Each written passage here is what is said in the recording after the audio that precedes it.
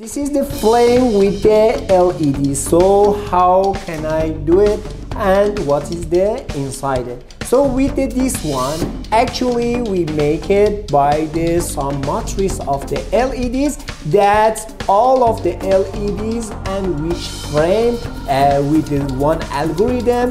with the microcontrollers turn on and turn off completely so like as this one you can see and every frame moving to the uh, which part actually this is the one rechargeable battery that you can charge it with the solar panel and you can use it in the garden and anywhere that you like it. Here is the microcontroller and of course there is one IC for the charger so near you here you need some diffuser like as this one that flame and the lights came out very nicely